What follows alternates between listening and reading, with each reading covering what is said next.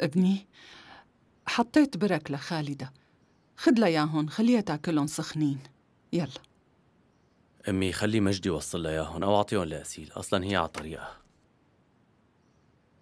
وليش أنت ما تاخدهم أنا مشغول شوي أمي.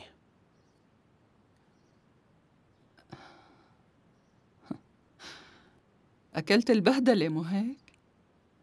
إيه بدك إياها لأنه. قديش اتصلت فيك وما رديت أنا وخالده انفصلنا.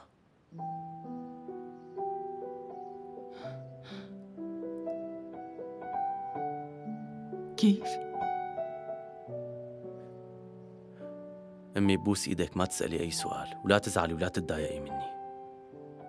خلونا نسكر على هذا الموضوع. صفحة وطويناها تمام؟ عدوا هلا خلونا نفطر. يلا. يلا. أنا رح روح جيب الشاي.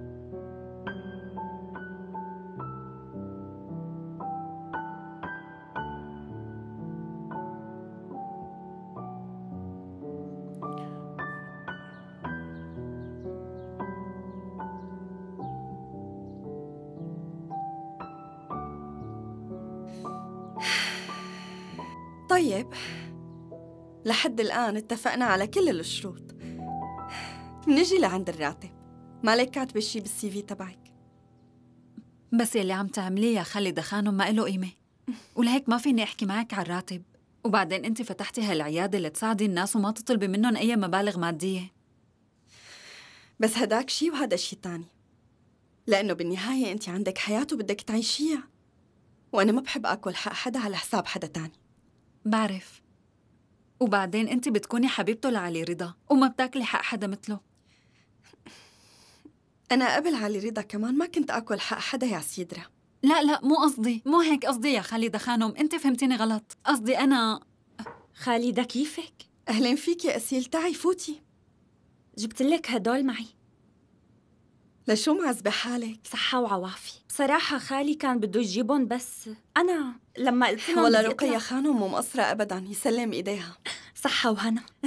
وخالي علي رضا بعده. وأنتي فطرتي ولا لسه؟ بعده على السفرة. أه لا أنا لسه ما فطرت. بيأدوكن على الأغلب. يلا لكن تفضلي عادي معنا. قايمة ساوي الشاي؟ لا أنا بساوي بصير. عادي. أه وين المطبخ؟ هون ورا هالغرفة. طيب. على فكرة خالي علي رضا بيحب هالبرك كتير.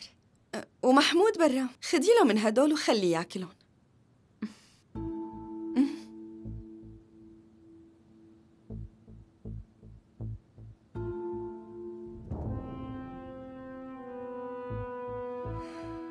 唉。